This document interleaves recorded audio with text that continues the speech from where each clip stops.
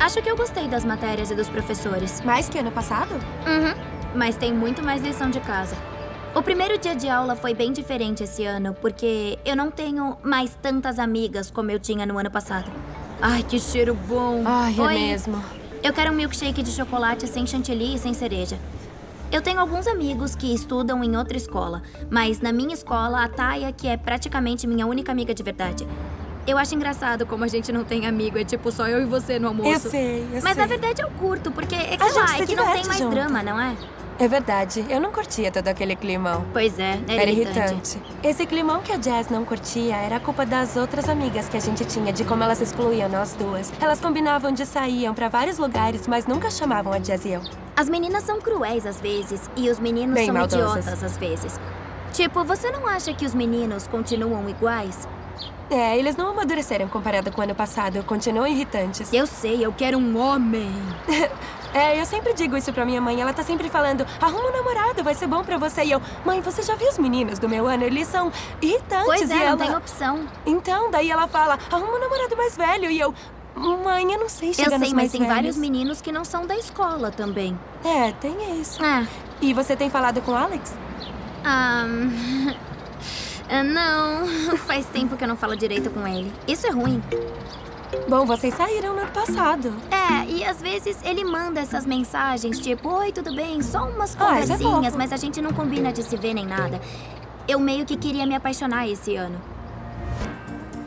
Isso foi polêmico, né? Apesar de eu não estar interessada no Alex, eu quero sim ficar com uma pessoa. Eu quero me apaixonar por alguém. Mas não é muito fácil pra mim. Antes, vários meninos não queriam conversar comigo porque eu sou transgênera, mas tomara que esse ano isso mude e eu conheça meninos diferentes, ou quem sabe até meninas, dependendo da situação. Eu tô cheia, minha eu tá também, doendo. tô super estufada. Você quer? Mas eu aguento o seu. Tem certeza?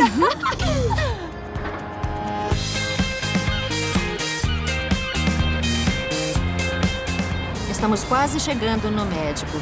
Tá animada pra saber como estão os seus hormônios? Eu sempre fico ansiosa pra ver como você tá. Tomara que o estrogênio tenha aumentado. Eu acho que sim, principalmente porque seus seios cresceram. Não é? Pois é, eu tô com os peitões gigantes. É.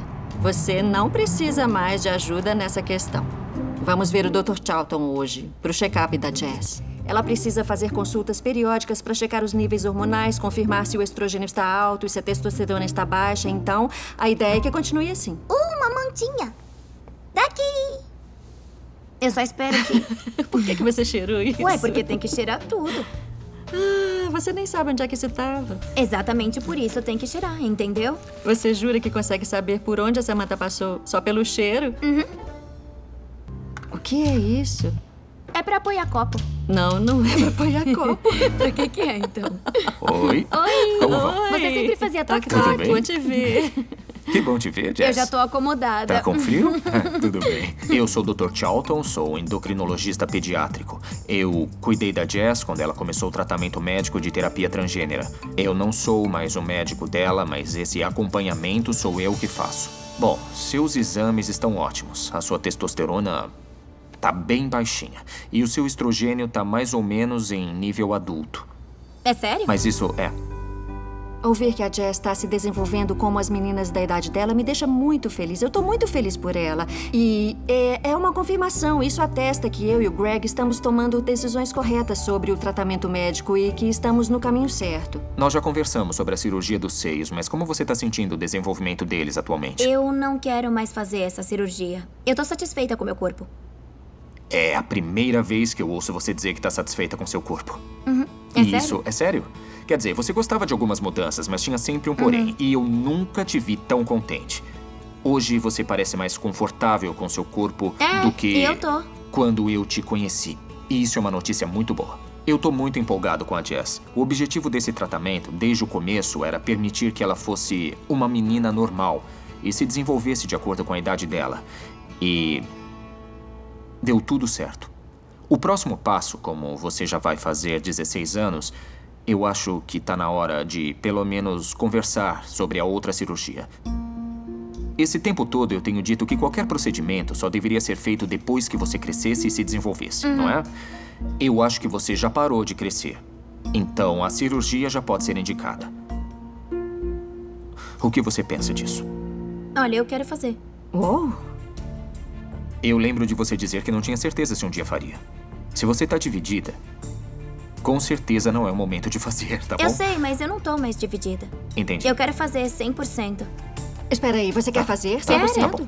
Eu quero fazer 100% de certeza. O que você acha disso? Não acredito que já chegamos aí.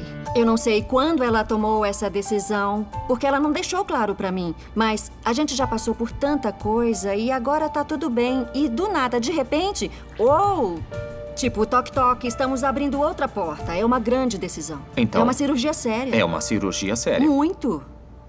Eu acho que eu me preocupo mais do que ela, mas isso é coisa de mãe, é natural Entendi. me preocupar. Mas eu sempre vou apoiar você.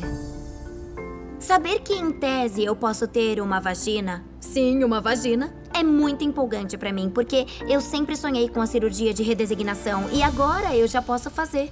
Então, ninguém fazia cirurgia antes dos 18 anos. Mas a mentalidade está mudando na comunidade médica. Vários defensores da cirurgia antes dos 18 argumentam que a vantagem de operar mais jovem é poder contar com a ajuda da mãe no pós-operatório. E é meu dever avisar que o pós-operatório é intenso. Os cuidados pós-operatórios devem ser um fator primordial a se considerar ao decidir quando fazer a cirurgia, porque não é o caso de vir para casa de férias, fazer a redesignação sexual e achar que dá para voltar para a faculdade dali a um mês. Então, é por isso que se deve começar a planejar o quanto antes. Eu sei que eu quero fazer antes de ir pra faculdade. Eu não quero ter que fazer a dilatação no dormitório. Eu acho que não Claro, seria era nem um exatamente pouco aí legal. que eu queria pois chegar. É. Eu andei pesquisando e eu aprendi que a dilatação é o processo de inserir objetos de vários tamanhos na vagina para poder criar profundidade. Claro, vocês vão ter que discutir muito isso em família. Porque muitas vezes um dos pais pensa uma coisa e o outro pensa outra coisa. É o então, papai. É, o papai. Um pai. O meu pai é muito relutante em relação a algumas decisões importantes, então eu tô com um pouco de medo de como ele vai reagir. Eu ainda não fiz meu dever de casa sobre esse Sei. quesito, porque eu sei que as coisas mudam toda hora e ela ainda era muito novinha, mas agora é uma realidade. De repente, nós já chegamos lá.